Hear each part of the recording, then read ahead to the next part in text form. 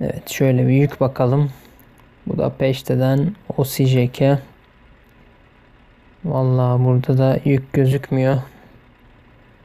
Şu arkadaşı bir arayayım da o bulabilmiş mi acaba? Bir öğreneyim.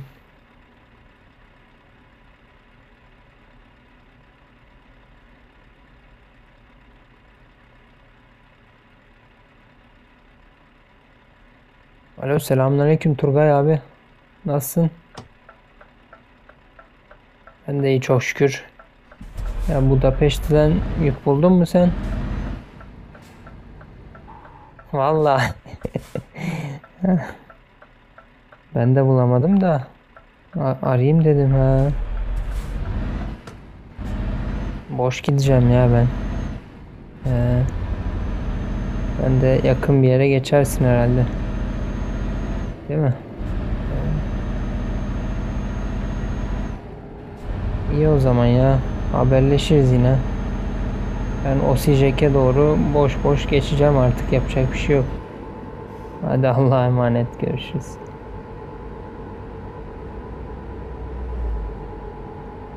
Evet buradan yanlış girdik. Navigasyon hemen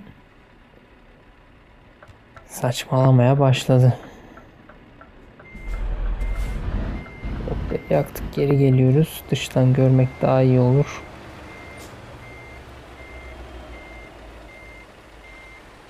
Arkada da araba bekliyor bizi sağ olsun. Yeterli mesafe bırakmış. Biraz daha ileri geleyim toparlayayım aracın önünü. Heh.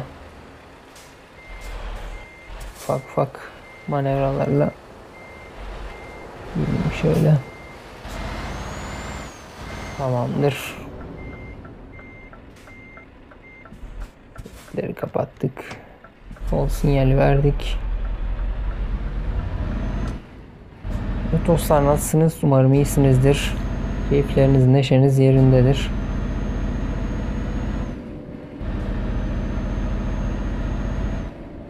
Valla burada ne olmuş? Araba kaza yapmış. Adamı aradım o sıra baktım laptopun önünde anahtar duruyor. Anahtarı takmayı unutmuşuz. Hemen taktım.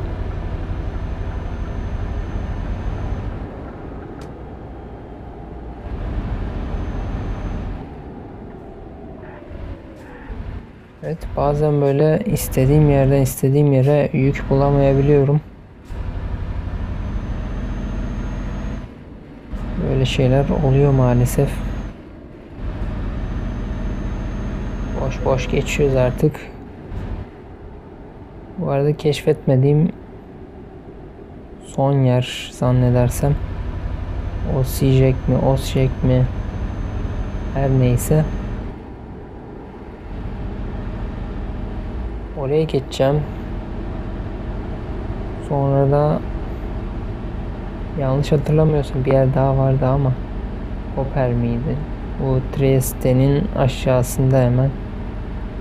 Koper'di galiba. Oraya da uğramadım. Oraya da uğrarsam tamam.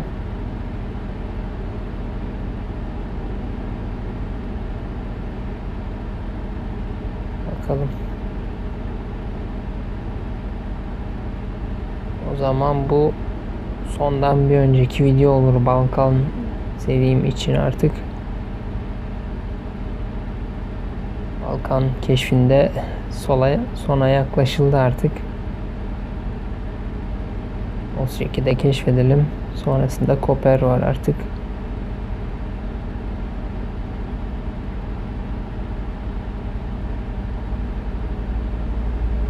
Sakin sakin ilerliyorum. 92'ye sabitledim hızımı.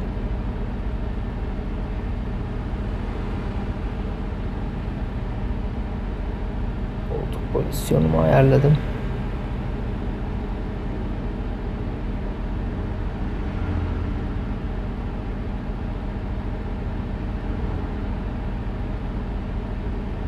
Şöyle navigasyon panelime geçtim.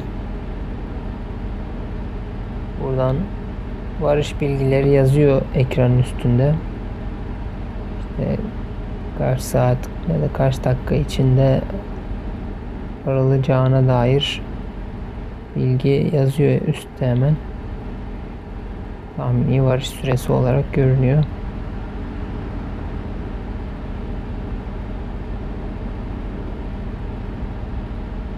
Bu arada size bahsetmiş miydim bilmiyorum.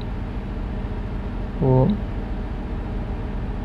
West Balkans DLC'sine geçeli şöyle FPS'im düşüyor böyle oluyor falan diyordum ama şu an görüyorsunuz 90 100 FPS falan 70 60 öncesinde bilenler bilir en az böyle 35 ortalama 40 ile 60 arası falan oluyordu. O da nedenmiş oyunla ilgili olmadığını anladım. Böyle işlemcim ısınmasın fazla yükte çalışmasın diye bu masa üstünde güç planı ayarı var. Oradan işlemcinin maksimum çalışma durumunu %90 olarak ayarlamıştım. %99 dahi yapsanız bayağı fark edilir bir derecede performans düşüşü yapıyor.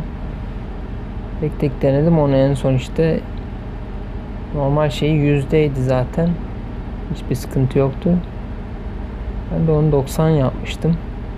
Gereksiz yükte çalışmasın diye falan. Bazen boşta ısınma durumu olabiliyordu. O yüzden şey yapmıştım. Sonrasında da West Balkans çıkmıştı zaten. Hadi keşfedelim şöyle böyle baktım. FPS'i de düştüğünü görünce herhalde West Balkans'tan diye yorumlamıştım ama öyle değilmiş işte. E sonra yüze geri getirdim. Baktım FPS'ler uçmaya başladı. Olan Kadir dedim. Demek 90'a aldığımız içinmiş. Neyse 100'e aldık. Şu an 100'de devam ediyorum. Görüldüğü üzere FPS'imiz normal yüksek değerlere ulaştı. Bu arada şeyi F5 tuşunu gösteriyorum size. Telefondan navigasyon paneli var. Ona bastıkça şey değişiyor bu arada. Kamera açılarını da değiştirebiliyorum böyle. Şimdi dashboard programı ile ilgili çektiğim bilgilendirme videosunda da bu özelliklerden bahsetmiştim sizlere detaylı bir şekilde. İzlemeyenler varsa izleyebilirler.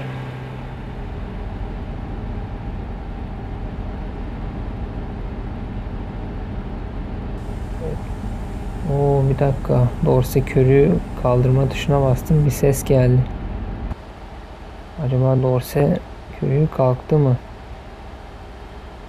Böyle bakmam lazım ona. Gerçekten kalkmış körük. Bir daha bastım. iniyor. Yani lastik yanma sesi bile geldi. Tekerler inmeye başlayınca kızaklama sesi geldi. Bu arada gerçekte böyle bir durum var mı ya? Eyvah bu arada tuşa basayım derken posladık.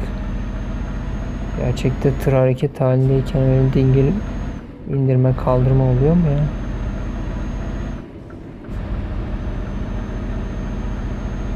Ben durduğu yerde yapabiliyor diye zannediyordum. Hareket halinde de yapılıyorsa bilmiyorum iyi bir şey mi? Evet Osijek tabelamız göründü. İleride sağdan çıkacağız herhalde.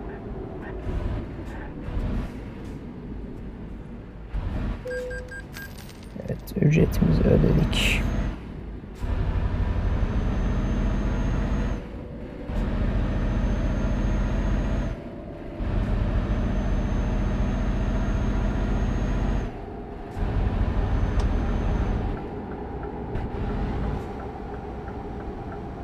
Evet, şu an motor freni tuşunu deniyorum. Ama bir gariplik var. Basılı tutmak gerekiyor ona. Tıkladığım tuş da bas bırak bir tuş basılı tutma şeyi yok. Yüzden dıt dıt dıt falan etti. Tuşun özelliğini değiştirmek gerekiyor.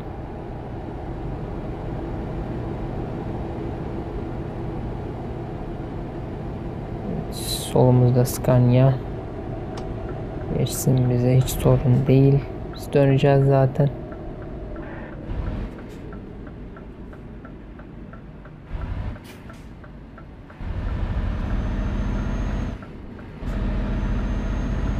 Evet.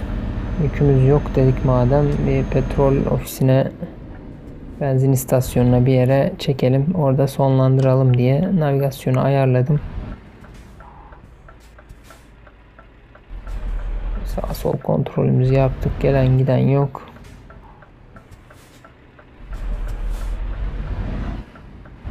Evet, hemen sağda benzin istasyonumuz var. Dinlenme alanına park ederiz. Videomuzu sonlandırırız.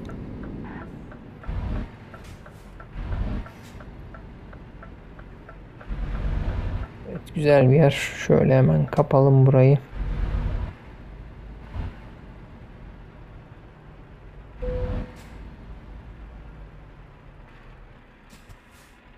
Evet dostlar güzel bir videomuz oldu. Böyle düzeltelim aracımızı ufaktan. Evet dostlar videomu beğendiyseniz beğenmeyi, kanalıma abone değilseniz abone olmayı ve bildirimleri açmayı unutmayın. Instagram Kadir Karaman official hesabımda takip ederseniz ayrıca sevinirim. Evet aracımızı da istop edelim. Diğer maceralarda görüşmek üzere. Hoşçakalın dostlar. Kendinize çok çok iyi bakın.